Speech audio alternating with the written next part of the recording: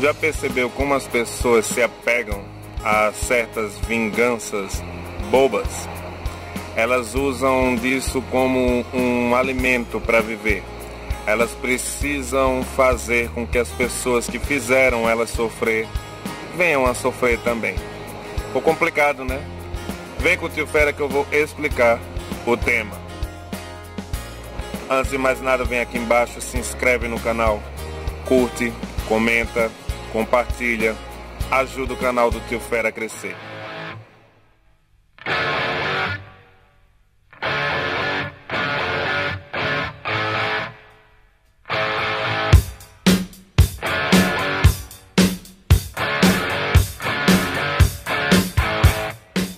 A vingança, ela é como se você nadasse no mar de lama, todo acorrentado, preso a uma pedra no fundo desse mar de lama. Ela faz com que você não consiga nem respirar. O problema é porque as pessoas querem descontar tudo o que fizeram com elas. O que seria aparentemente justo. Você imagina uma pessoa que fez você sofrer, sacaneou com você, te machucou. Você quer que essa pessoa sofra também. O que as pessoas não pararam para atinar ou para entender é que o mais importante da vingança é a tua felicidade. Ela é a tua maior vingança. Por que, que eu estou dizendo isso?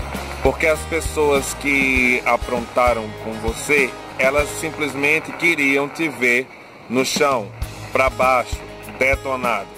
De repente elas te veem feliz, dando a volta por cima, você conseguindo superar tudo que lhe fizeram.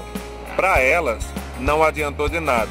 Elas não conseguiram o objetivo delas, que era te detonar.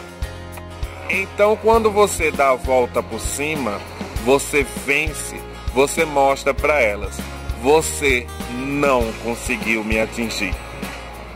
As pessoas só vão aprontar com você porque você está no nível acima do delas. Ninguém vai querer aprontar com quem está por baixo. Nós geralmente queremos detonar ou derrubar quem está por cima porque as pessoas querem ficar no lugar de quem está por cima. Ninguém quer ficar no lugar de quem está por baixo. Entendeu? Então, pensa direitinho. Você está sempre à frente dos teus adversários. Teve uma turma que fez um inferno para me tirar de um emprego. Eu trabalhava em um local e eles fizeram de tudo para conseguir me tirar dali. Conseguiram Porém, eu tenho que agradecer a eles. Eu saindo dali, eu consegui um emprego muito melhor, onde eu ganho quatro vezes o que eu ganhava lá. E isso para mim foi muito mais vantajoso.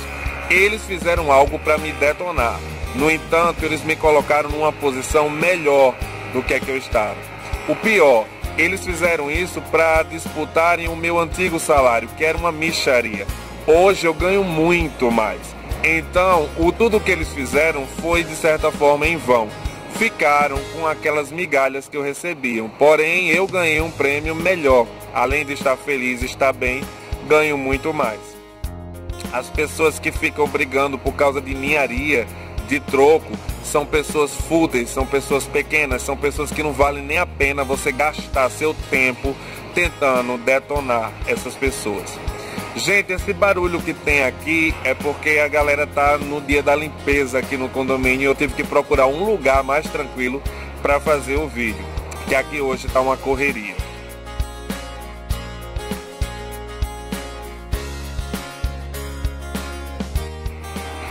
Enfim, o que eu queria passar para vocês é exatamente isso.